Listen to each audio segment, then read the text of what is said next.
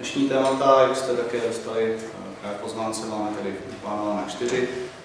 První tisková konference města Svitavy v roce 2019 se konala ve středu 16. ledna. Ředitel Střediska kulturních služeb přítomné pozval na obnovenou premiéru filmu Schindlerův seznam režiséra Stevena Spielberga. Předpremiéra filmu proběhla ve Svitavách 9. března 1994 a ve stejný den byl odhalen i Schindlerův pomník. Oskar Schindler byl totiž svitavským rodákem. Obnovená premiéra proběhne v kině Vesmír 24. ledna a bude spojena s výstavou fotografií a koncertem klezmer kapely Trombonik.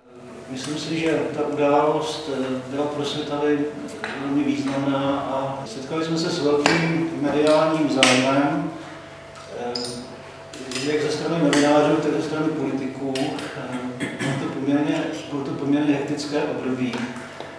Já bych jen řekl, že to, že byla vysvětlová předpremiéra, nebylo tehdy snadné vyjednat, protože filmy nebyly tak, jak jsou teďka na digitálních nosičích, ale byly to vlastně 35 mm kopie, kterých bylo málo, ten film byl velký zájem. Nám samozřejmě pomohlo to, že Oskar Schindler je světovský rodák. 1. září 2018 došlo ve Svitavách ke sloučení obchodní akademie s gymnáziem a od té doby pracují obě původní školy v nových podmínkách. Žáci sice studují v původních budovách, ale od nového školního roku došlo k propojení pedagogického sboru, a to v obou směrech. Spojila se také ekonomika, účetnictví a personalistika školy. Navíc se škola letos chystá na další zásadní krok, kterým je zrušení vyšší odborné školy ekonomické. Ten trend v celé České republice je takový, že eh, spousta maturantů dává přednost spíše vysokoškolskému studiu eh, bakalářského typu nebo třeba i magisterského následně a zájem o vyšší odborná studia, ačkoliv jsou velice prakticky zaměřená, prostě velice eh, rapidně kleslo a spousta vyšších odborných škol už zanikla nebo je v procesu zániku a my jsme ve stádiu, kdy máme posledních 8 studentů, kteří Eh, mají v současné době zkouškové období, pak odcházejí na půl roku na praxi, v červnu vykonají absolutorium a tím pádem historie vyšší odborné školy ve Světavách končí. 12. února proběhne v areálu mateřské školy na ulici Pražská slavnostní otevření tvořivě badatelské dílny. Je to odborná učebna, která by měla umožnit dětem i žákům rozvoj manuální gramotnosti při polytechnické výchově a badatelsky orientovaných aktivitách, jež jsou prostorově i časově náročné. Výuka v těchto specializovaných moderních prostorách bude nabídnuta také ostatním svitavským školám. Stále řešíme, že o technické obory a manuální činnosti je velmi malý zájem a naše přesvědčení je, že cílit na děti v 8. 9. třídě je jaksi pozdě a musíme vést děti eh, k tomu už od předškolního vzdělávání, protože jedině zájem o tyto obory vlastně vede to, že ty děti si to potom vybírají.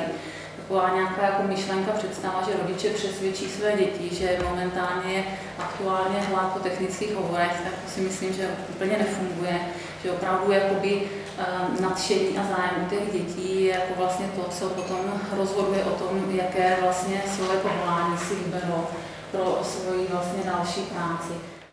Od roku 2005 funguje v obci Květná organizace Květná zahrada. Poskytují zde sociální služby a pracují nejčastěji s lidmi od 18 do 26 let, kteří jsou z různých důvodů obtížněji zaměstnavatelní. Díky podpoře Pardubického kraje zde přednedávnem zrekonstruovali starou vilu, která bude nyní sloužit pro ubytování klientů této organizace. Dvoupatrový objekt nabízí osm samostatných garsonek, kde budou žít úplně samostatně.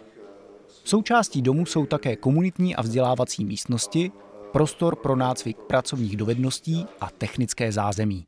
Proč jsme přistoupili tady k tomu kroku? Přišli jsme na to za, za tu dobu, kdy tu službu děláme, protože většinu těch mladých lidí, aspoň v první fázi jejich eh, nějaké přítomnosti u nás zaměstnáváme takže je lepší, když ti mladé, mladí lidé mají takový ten klasický návyk, že někde bydlí a někam chodí do práce, protože u nás bydleli v tom areálu a zároveň, když tam pracovali, tak začaly se objevovat takový, eh, řekl bych, logický jevy, jako že když někdo měl přestávku, tak si šel, odskočil si do bytu na kafe a tak, a to asi není jako úplně dobrý návyk. Takže to byl jeden z důvodů, proč jsme se rozhodli, proč jsme se rozhodli k tomuto kroku. Základní ty činnosti květní zahrady jsou učení, práce, hra a podpora rodiny. Jo, to je základ celého toho výchovného působení.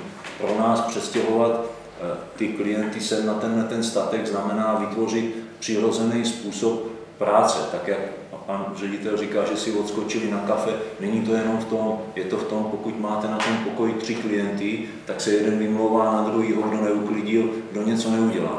Tady bude každý sám za sebe, nehledě na to, že bude muset do té práce jít přirozenou cestou nějaký dva kilometry, aby se do ní dostal a vlastně kopíruje ten model, který, který v té společnosti běžně je ten socializační model.